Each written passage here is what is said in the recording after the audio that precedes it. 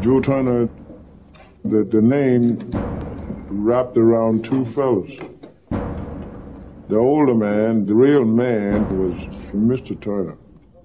Of course, we never did know his first name. And the Negro that worked for him, we called him Joe.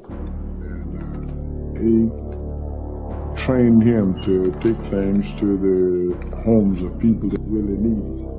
Mr. Turner was a man every Negro and every white person in the South knowed about. He had plenty for everything.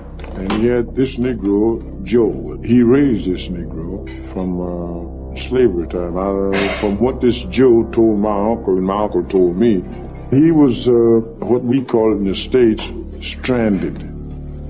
That means that everybody go off and leave him, and uh, somebody come along and pick him up. So this Negro that worked for Mr. Turner, he was left out on the road someplace. And Mr. Turner picked him up and he carried him home.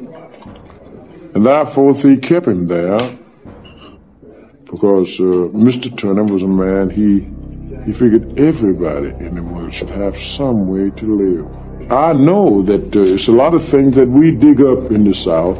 It's not no really people that do these things.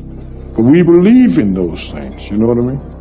Uh, there's people in my home, they, they stick a stick in the ground now, and it says, what time is it now? He haven't even got a watch. But he look at that stick, and he tell you, he said, well, I won't say exact, but it's between 12 and 12.30. And you look at your watch, and I'll bet you $100 to a dime is, is, is between that time. He can't get in 30 minutes. In 30 minutes of time, he got it on that stick sticking in the ground, and he have no watch. So those people believes in those things. I'm sorry, I gotta see the hands. I'm not one of them.